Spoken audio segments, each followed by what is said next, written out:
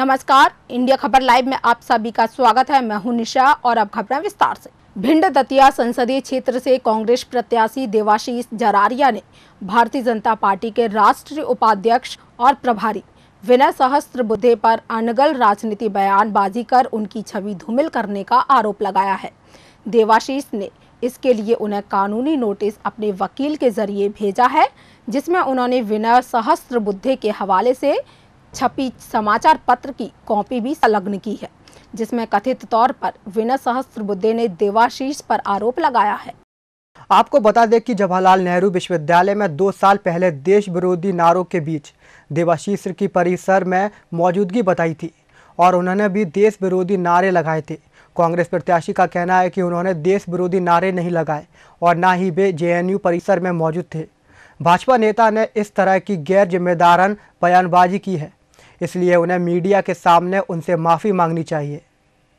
अन्यथा वे अपमानना की कार्रवाई के लिए तैयार रहें। देवाशीष का कहना है कि एक राष्ट्रीय पार्टी के घोषित उम्मीदवार के खिलाफ बिना किसी तथ्य और सबूत के अनर्गल बयानबाजी करना गलत है। इसलिए उन्होंने अपने वकील के ज़रिए भाजपा उपाध्यक्ष को कानूनी नोटिस भेजा है। यदि उनका जवाब अथवा माफ़ी नहीं आती है तो वे न्यायालय अपमानना का मामला दर्ज कराएँगे।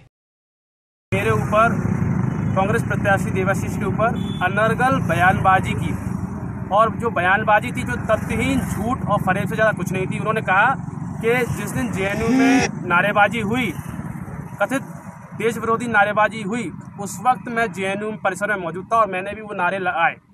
ये लीगल डिफेमेशन का केस है। मेरे खिलाफ अगर आप इस तरह की बयानबाजी कर रहे हैं और एक राष्ट्रीय पार्टी के कैंडिडेट के खिलाफ ऐसी बयानबाजी कर रहे हैं तो सबूतों के साथ करें बयानबाजी। अन्यथा मैंने उनको लीगल कार्रवाई की चुनौती दी थी। और चूँकि इसका कोई सबूत नहीं है, मैंने आज उनको लीगल नोटिस जारी कर दिया है। अब विनय सहस्त्रबुद्धे जी, या तो प्रेस में, मीडिया में माफ़ी मांगे, ठीक है, या कोर्ट में अवमानना के मामले के लिए भुगतने के लिए तैयार रहे। ये जो भारतीय जनता पार्टी के लोग हैं, ये अंग्रेज़ों के गुलाम रहे, अंग्रेज़ों के सामने माफ़ी मांगी। अब जल्द ही ये लोग कांग्रेसों के सामने भी माफ़ी मांगे। महावीर जयंती महोत्सव समिति ग्रेटर ग्वालियर द्वारा महावीर भगवान के जन्म दिवस पर हर वर्ष की भांति इस वर्ष भी मनाया गया। वहीं महावीर जी का चल समारोह निकाला गया। इस चल समारोह का प्रारंभ दौलतगंज से होकर शहर के प्रमुख मार्गों से निकला। वहीं बड़ी संख्या में लोगों ने चल समारोह में हिस्सा लिया।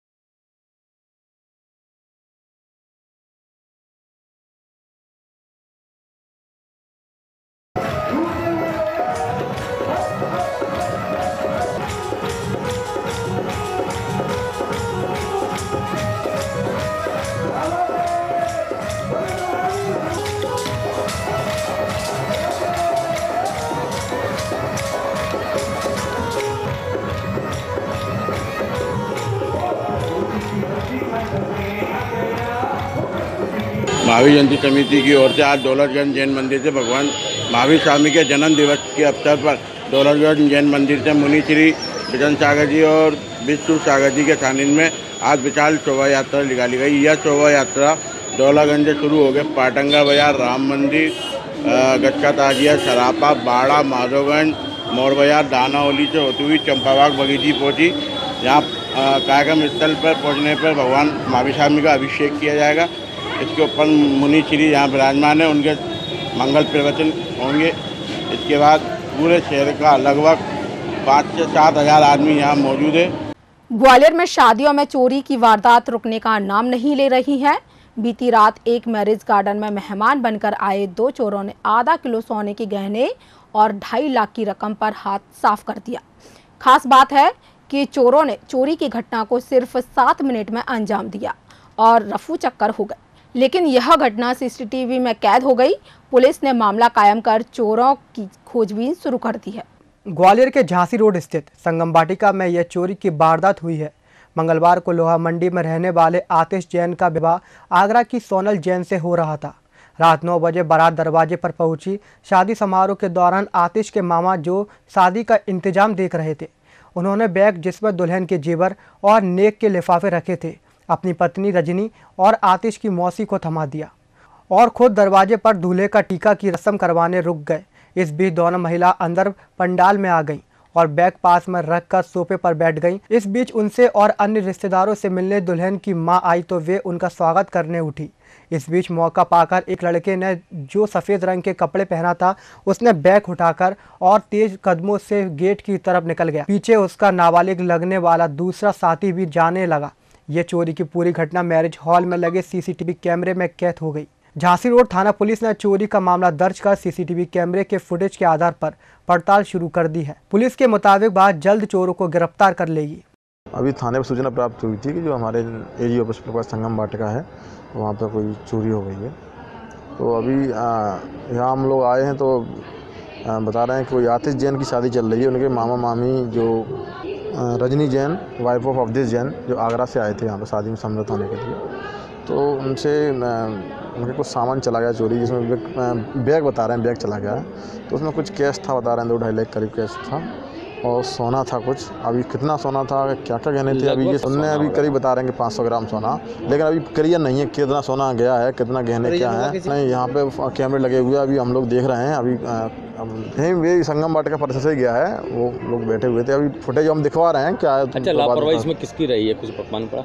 नहीं तो लापरवाही तो अभी दिखवाते पूरा फुटेज चेक करते उसके बाद में जाँच के बाद ही कह पाएँगे क्या लापरवाही रही है कौन ले गया है क्या है वो बात तो भी बता पाएँगे। श्री बजरंग बाल मंडल वैदिक शिक्षा समाज कल्याण एवं पर्यावरण गौ सेवा समिति ग्वालियर द्वारा बारहवा भव्य चल समारोह का आयोजन किया जा रहा है।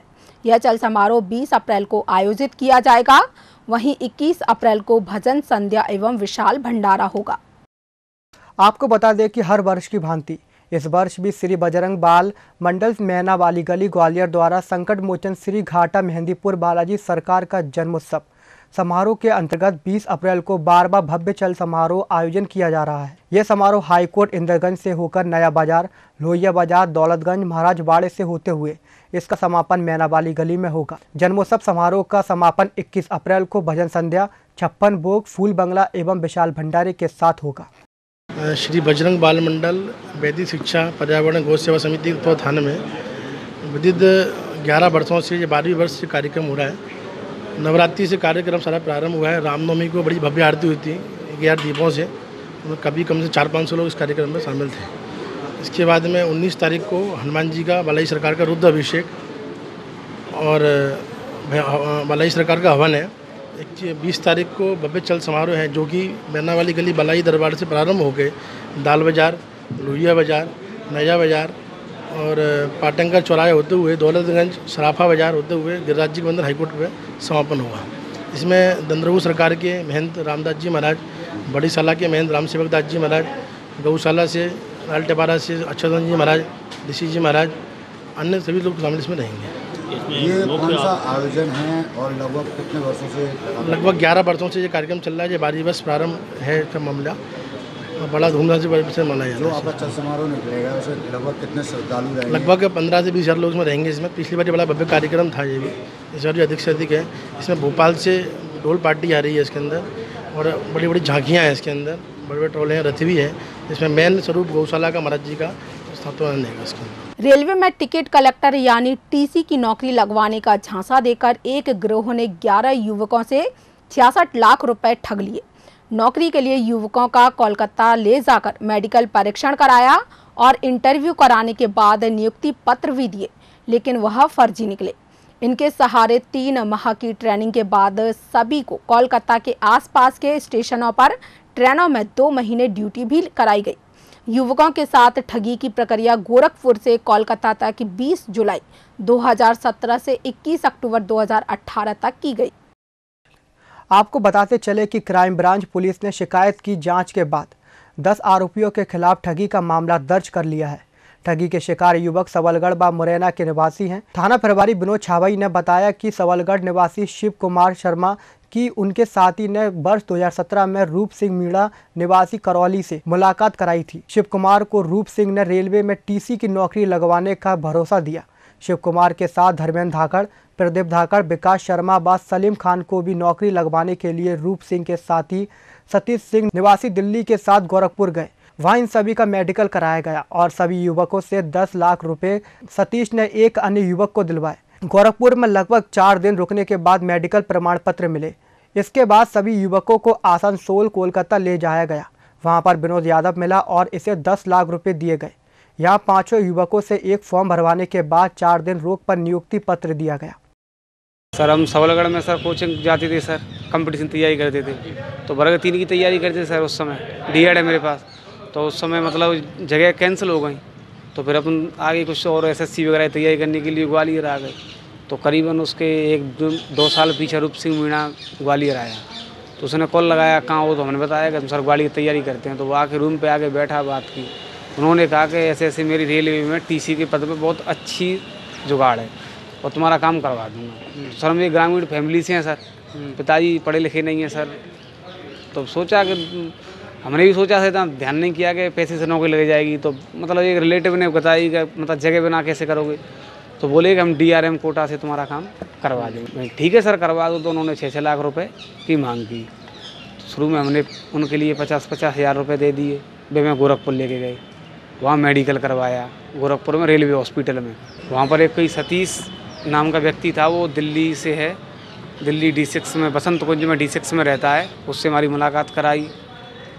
और मैंने पैसे वैसे दे गए फिर हमें चार आठ दिन पीछे हमें कोलकाता ले गए आसनसोल गोरखपुर से। वहाँ जाके विनोद यादव था। कोई व्यक्ति था विनोद यादव बता रहा था। और कन मतलब उसका नाम भी विनोद यादव है। तो वहाँ जाके उन्होंने हमें चार पाँच दिन पीछे नियुक्ति पत्र दिया। और कहा कि तुम ट्रेन से चले जाओ कलकत्ता। कलकत्ता में एक तुम्हें पीतम सरकार नाम का व्यक्ति मिले। हम गए तो वहाँ पर पीतम सरकार नाम का व्यक्ति ने नंबर पर फ़ोन आया हमारे पे। हम उसके साथ नियाटी ट्रेनिंग सेंटर पे गए। वहाँ जाके हम जैसे काफ़ी लड़के थे वहाँ कम से कम दो ढाई सौ लड़के पहले से ट्रेनिंग कर रहे थे वहाँ पे। तो इस चक्कर में हम समझ ना पाए भाई सर काफ़ी लड़के हैं यूपी से भी थे राजस्थान से थे आंध्र प्रदेश मतलब भारत के अलग अलग उन्हें हमारे लिए बैच दिया था नेम प्लेट दी थी कोट दिया था आइडेंटिटी कार्ड दिया था। मतलब जो सारे दस्तावेज़ होते हैं, जो पूरे दस्तावेज़ दिए थे। कुछ रिलेटिव हैं अपने रेलवे में। जैसे मेरी मौसी का लड़का है, वो रेलवे में है। तो उसने कहा कि भैया, तुम कहाँ पर हो? तो मैंने कहा, मैं उड़ीसा हूँ। तो उसने कहा, मैं तेरा ट्रांसफ़र ही करवा दूँगा। उड़ीसा है तो मेरे मामा का लड़का रेलवे में जी में बसावल में। तो उसने ऐसे ऐसे मुझे बताया कि तुम्हारी कहाँ पोस्टिंग है? तो मैंने बताया, बालेश्वर है। तो उसने बालेश्वर स्टेशन मास्टर के लिए फ़ोन लगाया कि ऐसे शिव कुमार शर्मा नाम का टी है क्या? उसने कहा, यहाँ तो कोई ऐसा टी नहीं है। उसने बताया कि फर्जी काम, फिर उन्होंने हमने पैसे की मांग की तो तरह तरह की धमकी देते हैं सर।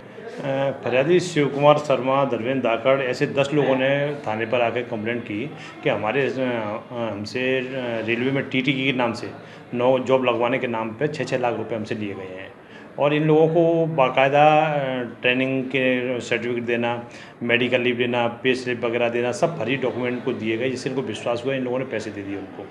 तो ऐसे करीबन दस फरियादी थे, दस लोग थे इनको इन्हें इनको दिया गया है। उसमें आरोपी रूप सिंह मीना पीतम शिवानी, लोकेश, ऐसे करीबन नौ आरोप नौ नौ लोग हैं। इन लोगों ने मिलकर इन लोगों ने फरियादी के साथ ठगी की है। ये बिल्कुल माने फरियादी का ये कहना है कि साहब हम गए थे तो हमें मेडिकल भी कराया गया तो अपन बस इन्वेस्टिगेशन में यही करेंगे मेडिकल कहाँ हुआ था, किस ऑफ़िस में गए थे, कहाँ इनके फार्म भरा गया, ये सब चीज़ सब चीज़ पर जाके और किस किस खाते में पैसे गए इसको निकलवा के किस किस के नाम से थे खाते धारक कौन है, सबको आरोपी बनाया गया है। और दौरान विवेचना पे ग्रिम कार्रवाई की जाएगी। नहीं नहीं, बिल्कुल आइडेंटिफाई करेंगे, बिल्कुल विवेचना में बिल्कुल सब लोगों को आइडेंटिफाई करेंगे। खाते तक हम पे कई चीज़ें हैं इसके बारे में। इसका हम तथ्य लगाकर और बिल्कुल आरोपी गिरफ्तारी करेंगे हम। लोकसभा चुनाव के दौरान प्रत्याशियों द्वारा खर्च किए जाने वाली राशि का हिसाब किताब रखने के लिए विधानसभा तैनात ऑब्जर्वर और चुनाव मतदाताओं को लुभाने के लिए उपहार या राशि परिवहन को रोकने के लिए एफएसटी टीम को बुधवार को एक बार फिर से ट्रेनिंग दी गई। ट्रेनिंग कार्यक्रम में टीम के सदस्यों के अलावा जिला निर्वाचन अधिकारी अनुराग चौधरी, एसपी नवनीत भसीन सहित ज़िले भर के डीएसपी और एसडीएम मौजूद रहे।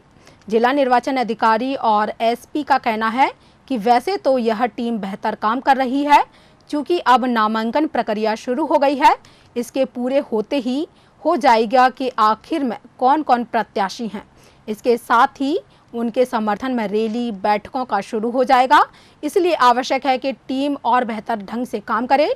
किस चीज़ का कितना खर्च जोड़ना है और कौन कौन सी विशेष बातें हैं जिन पर ध्यान देना है। इसलिए यह बैठक आयोजित की गई। इलेक्शन के दौरान प्रत्येक विधानसभा में गठित फ्लाइंग स्क्वाड और स्टैटिक सर्वेलेंस टीम काफ़ी अच्छा काम कर रही हैं और इनकी कार्रवाइयों को और अधिक इम्प्रूव करने के लिए, पारस्परिक कोऑर्डिनेशन के लिए इनको आज यहाँ बुलाया गया है। इस ट्रेनिंग और मीटिंग का उद्देश्य है कि चुनाव के दौरान ये अपनी भूमिका और सक्रिय रूप से निभाएँ। जैसा कि आपने देखा नॉमिनेशन फ़ाइल होने के बाद अब आम सभाएँ रैली इत्यादि होंगे। उस दौरान इनको नया रोल कौन सा प्ले करना है, उसके बारे में ट्रेनिंग आज दी जाएगी गत रोज दिन भर की तपिश के बाद शाम को अचानक मौसम में आए बदलाव और बूंदाबांदी के बाद शाम के समय 10 से 15 किलोमीटर प्रति घंटे की रफ्तार से धूल भरी आंधी भी चली। इससे मौसम में ठंडक आ गई है। हालाँकि तेज हवाओं और आंधी के चलते लोग परेशान भी रहे। मौसम विभाग के अनुसार पूर्वी ईरान से लेकर अफ़गानिस्तान तक पश्चिमी विक्षोभ सक्रिय है। इसके चलते दक्षिण पश्चिम राजस्थान के ऊपर चक्रवात बना हुआ है। साथ ही स्थानीय प्रभाव के असर से बूंदाबांदी के साथ धूल भरी आंधी आई है।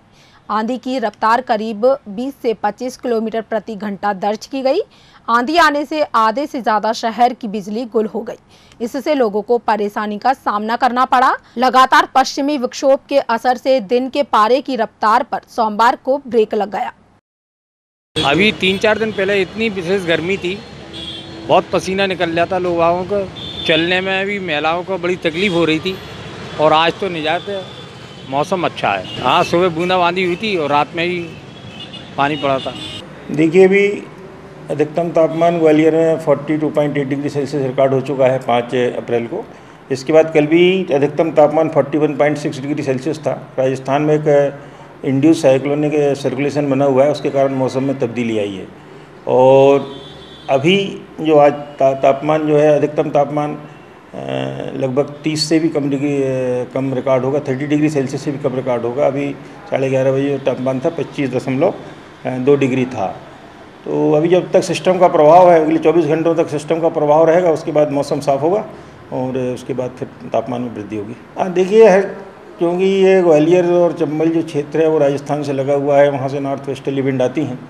और उसके प्रभाव से ग्वालियर में, चंबल में जो हर तीसरे चौथे दिन आंधी आती है। तो आंधी के साथ यदि नमी होती है तो हल्की फुल्की वर्षा होती है, उसके कारण तापमान में कमी आती है। उसके बाद फिर तापमान में वृद्धि होती है। ये क्रम यहाँ चलता रहता है।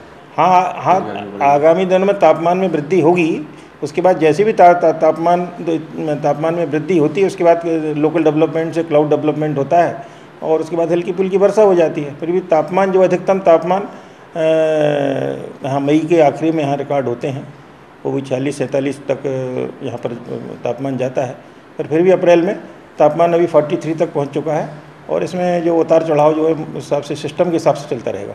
गजराजा मेडिकल कॉलेज के चिकित्सा शिक्षकों को मई जून माह में मिलने वाली छुट्टियों पर आचार संहिता के कारण गफलत है। इंदौर मेडिकल कॉलेज में चिकित्सा शिक्षकों को मई में छुट्टी देने से मना कर दिया गया है। मामले में जीआरएमसी के डीन डॉक्टर भरत जैन ने कलेक्टर से अभिमत मांगने की बात कही है। जीआरएमसी सहित प्रदेश के सभी सरकारी मेडिकल कॉलेजों में चिकित्सा शिक्षकों को एक माह की छुट्टी मई और जून में दी जाती है। एक विभाग के 50 फ़ीसदी चिकित्सा शिक्षक मई और शेष जून में छुट्टी लेते हैं, लेकिन इस बार लोकसभा चुनाव मई में होंगे। ऐसे में चिकित्सा शिक्षकों की छुट्टी को लेकर असमंजस है। दिक्कत यह भी है कि यदि मई में आचार संहिता के चलते छुट्टी नहीं दी गई तो जून में सभी चिकित्सा शिक्षकों को एक साथ छुट्टी कैसे मिलेगी? ऐसा करने पर अस्पताल की व्यवस्था बिगड़ सकती है। हालाँकि डीन डॉक्टर भारत जैन का कहना है कि मई में चिकित्सा शिक्षकों को छुट्टी देने पर अस्पताल की व्यवस्थाओं पर कोई प्रभाव नहीं पड़ेगा। फिर भी कलेक्टर को पत्र लिखकर इस मामले में अभिमत मांगा जाएगा। और अब हमें दीजिए इजाज़त और आप देखते रहिए इंडिया खबर लाइव। नमस्कार।